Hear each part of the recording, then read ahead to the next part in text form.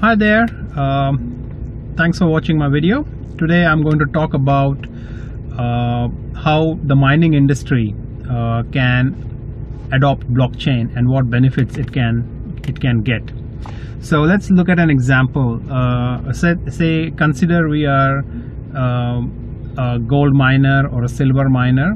What benefits uh, can a gold mining company achieve by adopting blockchain? First and foremost thing uh, is the value that they can these, these companies can achieve is providing data provenance that is uh, clarity uh, transparency and traceability to its end consumers. These days, consumers are very uh, are very selective. They want to know where these products came from, what was the entire journey that the product has taken, and that's how they build trust uh, for a particular brand or a particular solution for that matter. In case of gold, gold supply chain, um, the companies can benefit by providing this information on a public blockchain where consumers or potential consumers could log in and check the the entire history of this of the piece uh, of a particular uh, consignment of gold or silver. And it is even becoming very popular to uh, with lithium as well because lithium is getting uh, more and more is getting more and more used uh, in batteries. And with the adoption of electric vehicles uh, it is becoming very critical to track that as well. So in terms of tracking these precious metals uh, the tracking process would begin at the very uh, first stage which would be in the mines so once the uh, mine has been identified the data tracking and the data collection process begins at that stage. Data could be collected using uh, at various stages uh, within the mine. So that could be uh, when the mine is being assessed, uh, the areas within the mines are identified, where the blast would happen, when, at what time, um, and at what location uh, the explosives uh, are um, are put and what time the uh, the time when the blast actually happens who uh, triggered the blast all such information uh, could be can be captured either automatically or using some semi-automated or manual manual ways.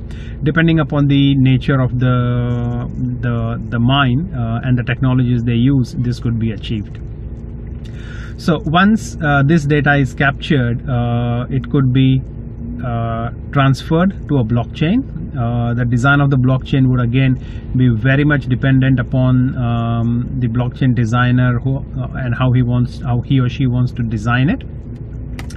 But basically, the idea is that uh, all this information about um, the, this first point within the, the metal supply chain is to capture um, capture this uh, capture this uh, this information normally um, in any mine you will you will get multiple grades of uh, ore. So the ore is categorized as say uh, uh, high grade medium grade low grade uh, and so on. So the tracking could add that that additional value to the blockchain.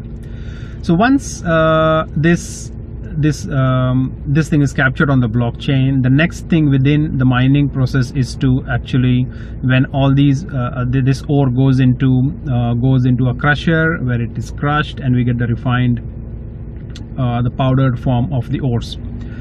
So this is where uh, things can get a little bit tricky because you get you can track the the metals or the minerals till uh, the crusher um, but once it goes into the crusher it will all all get mixed. Uh, although you can still keep a track of uh, high grade uh, medium grade and low grade because you could probably put it uh, in three different batches.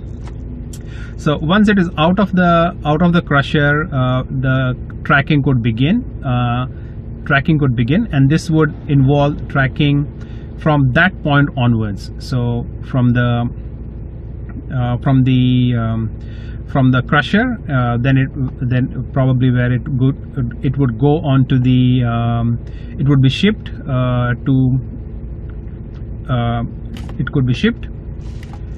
Uh, once this is uh, it is in the powdered form, it could be transported for further refining and extraction of the precious metal, say gold or so on.